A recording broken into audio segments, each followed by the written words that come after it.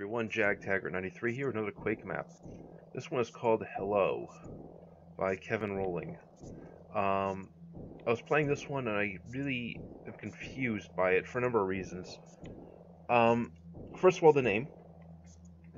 Hello. Okay, hi. Uh, second of all, the layout of this map and how it's presented is just really bizarre. We got a full bright environment here, but a lot of the maps, or a lot of the uh, areas later on in this map are very dark. Um, and they're structured on very specific challenges. And the design of this map is just very, very sloppy. But so sloppy it comes across as almost kind of creepy. And what makes this map even creepier is that about 10 years later, after this map was released, it was released in 96, in 2007, an unknown author re-released it with um, slightly different uh, environment uh, textures. But why anyone would want to re-release this map, I don't know. Why it's called Hello, I, I do not know. Um, why it looks like this, I do not know. Uh, we have our different rooms, each guarded by a shambler there, but what we're really supposed to do is go through this portal here. Uh, the map starts off with two ogres, one I already took out, and the other one right over here. Alright, got him. Let's go to our first challenge area. Which is to walk across this extremely narrow uh, path here and not fall into the lava and visit the volcano god.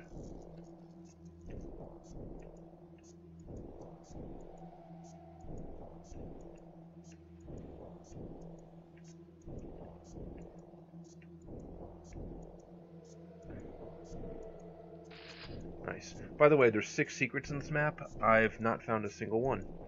Because this map has a very high risk uh, factor to it. Um, where you don't want to go exploring. Next room is pitch black, except for some suspiciously lit areas. I do not know why this area is lit. There's a clear light source, the torch there, but I've knocked around there before with an axe. I didn't see anything out of the ordinary. This area here is brightly lit, but no clear light source. The only reason why that's lit is for the player perspective to look over here. While you're looking over here, you completely miss there. There's our teleporter, but if you look carefully, see that? You just see the shadow of a fiend. There's a few of them right over there.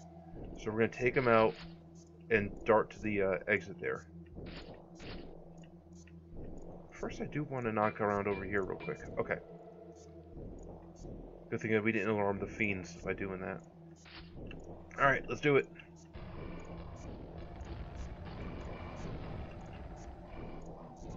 Okay, I'll stand here and telefrag the rest of them.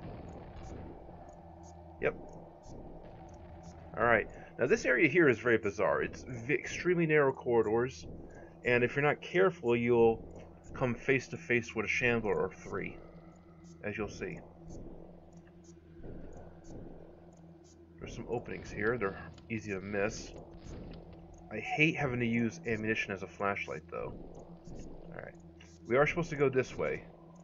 There's a totally unnecessary path you can go over this way, but that leads you to a Shambler fight that, oh, and a Knight, that, as far as I can tell, leads you to a dead end that you don't need to take on. What you're supposed to do is go this way. And be very careful, because there's two shamblers right over there. Beeline and pray, and then you're fine. Keep going, because those shamblers will follow you. This room is spooky. Keep going, okay? And then we're here.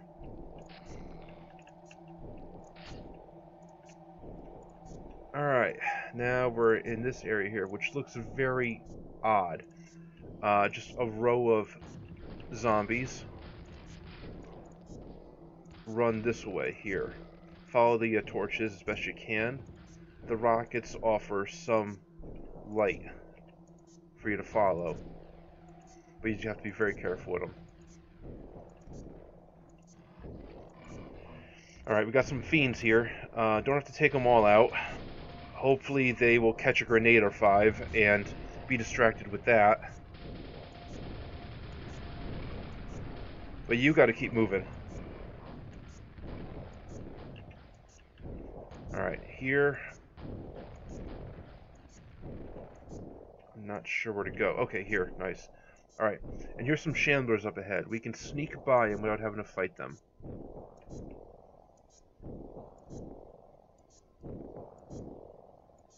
See, just like that. Completely unnecessary. And this huge wall isn't actually a wall, it's just one big teleporter. And that's the map. Uh, really weird.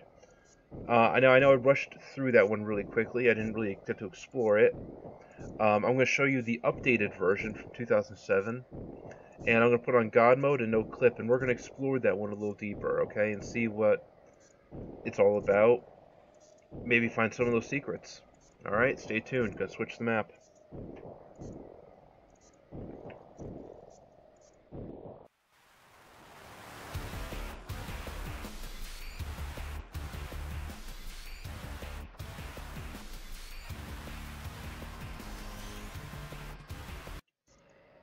Hey everyone, we are back uh, with Hello, the 2007 edition. Let me take out this ogre real quick. Alright. And as you can see, the uh, lava looks different. It looks almost like blood, actually. Um, this area is Fullbright, just like it was in the original. We got our double shotgun, shell, second ogre over here. Alright. Um, those are our shamblers.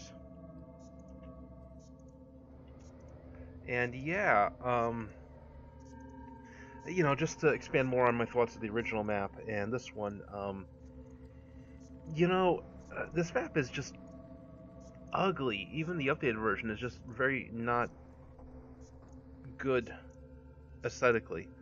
Um, start off in a Fullbright environment, but a lot of them are way too dark and just bizarrely thrown together, really.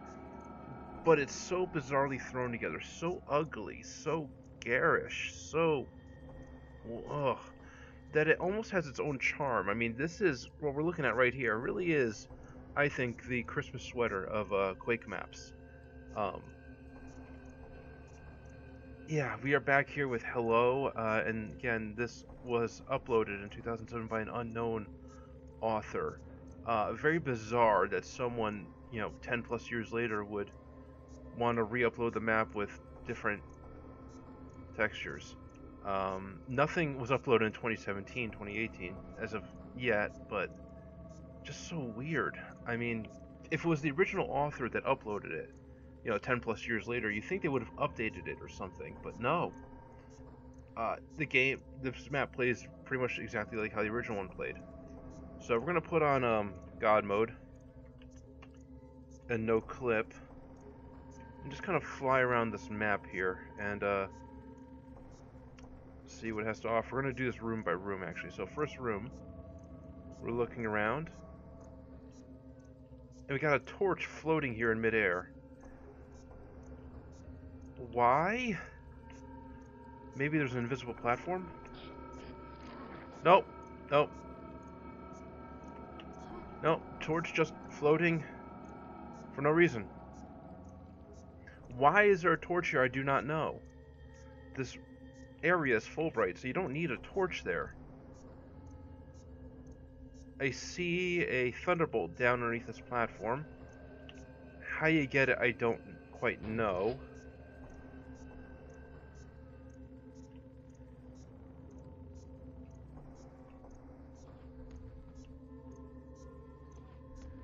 Yeah, these are the shamblers.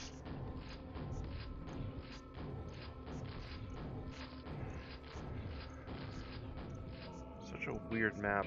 Alright.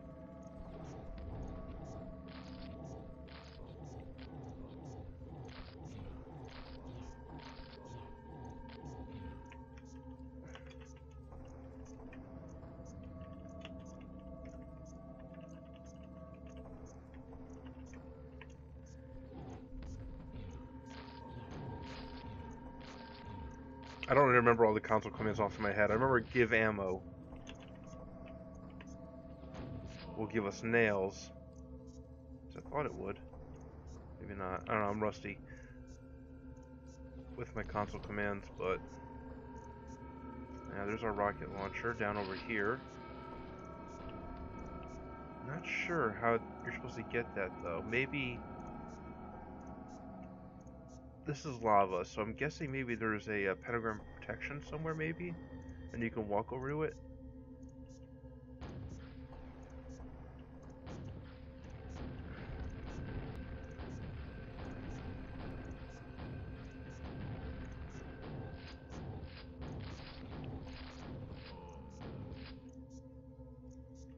This map is just so bizarre. really is. Uh, oh, there's a pentagram protection. Uh, fire just coming from nowhere. Okay. Shambler. Looks like this is the hallway that um you come to with the different shamblers actually.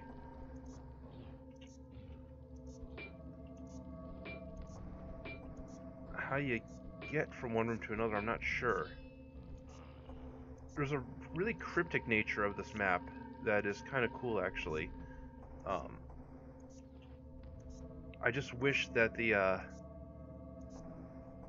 the map maker, the author, uh, showed a little more imagination in the department of how to guide the player through the map to incentivize finding those secrets. Um, just so bizarre. I see a, te a teleporter here. Alright. That's how we get that. And then we go through here, then we end up here, and then we find our another secret area, okay. That takes us here. To this room.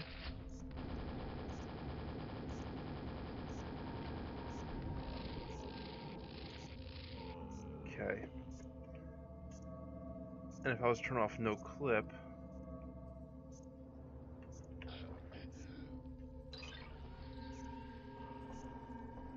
okay.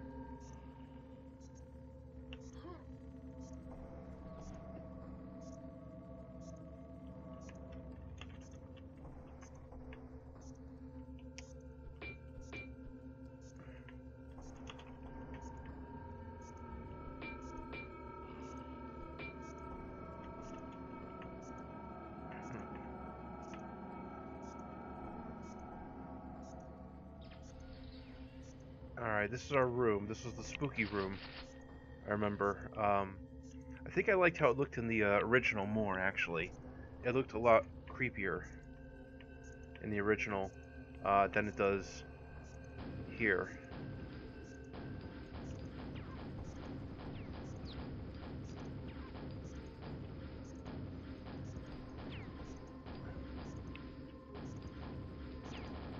Anything at all to this room, though, besides that one teleporter? We got flames, or some sort of flicker of embers coming through the floor. Probably a, uh, a torch underneath. Yeah, a torch. And we're in this room here, okay. How? There's no teleporter there, though. That's weird. Alright. The progression is just so bizarre here. Um, even with no clip, I don't think I can figure it all out. And I'm not even sure if it's all working. For all we know, the map could be broken. Just check and see if there's anything underneath the uh, lava blood. I don't think there is, but again, this map really is the Christmas order of Quake maps. It's so ugly, so thrown together, and yet I can't help but keep playing this mess.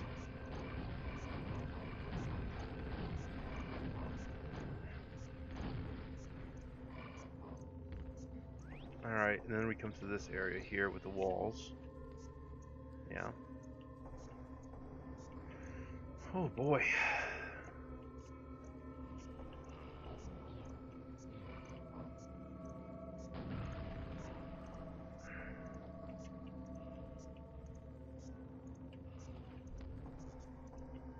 And this will bring us toward the final series of areas, I think.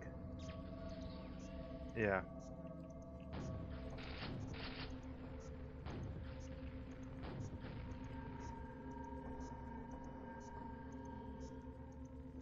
This is just so bizarre.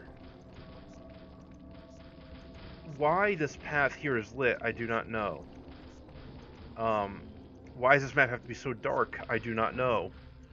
There's so much with this map that just doesn't make sense. I, I, I'm, I'm at a loss for words. I, I really have no idea what I'm looking at. Yeah, this is the part with the ogres. Uh, there's flames just floating in the middle, mid-air. No torches, nothing. Lonely sham lonely uh, fiend there. Almost called him a shambler.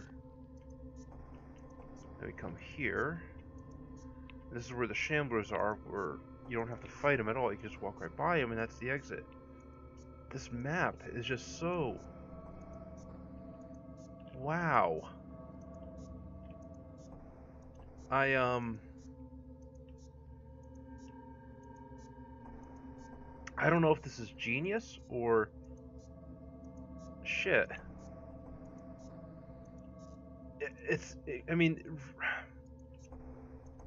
It's just so ugly. It's just so terrible. Uh, the first area is just brightly lit, full bright actually.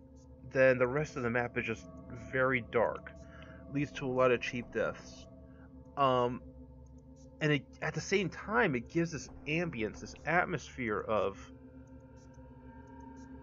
creepiness. Actually, it, it, this map is so, and the original too is just they're just so broken and so ugly that they come across as strange. I can't. I, I, I that's the best way I can put it. And the complete lack of any care of setting and ambience the complete lack of care for any kind of theme to this map gives it its own bizarre theme. Um, I don't know if it's intentional. Someone must have appreciated it because again, this map is the 2007 version. So someone out there must have loved the original Hello so much that they just had to re-upload it. Just, just wow. Um, there is something to having a map with challenge sections. I always love that in maps, actually. Uh, having different rooms, with each room having its own specific theme and its own specific challenge. That's really well done. And to see that in a 1996 map is really cool, actually. That's really innovative. So it really, the author, the original author, definitely had some really cool ideas. But uh, just Jesus. I mean, look, I, I uh, okay. I mean, I, I, my my brain's broken because this map has such good ideas and is so brilliant in its badness, and yet I can't really recommend this map on its merits, but it does have to be experienced. Um, overall, I rate this one a four out of ten technically it's it's marred. Um, there's secrets here that are nice to find, but there's really no incentive to go looking. There's a lot of insta deaths as well too. Uh, it's very cheap, very ugly to look at. The enemy placement is just bizarre. The entire map is bizarre in a nutshell. That being said, I do recommend picking up and playing it, either the original version or the 2007 version. Um, it just has to be experienced. It really does. Uh, and that's really all I, can say about it, really. Uh, thank you all for watching. This is Jag Taggart 93 signing out. Have a good one.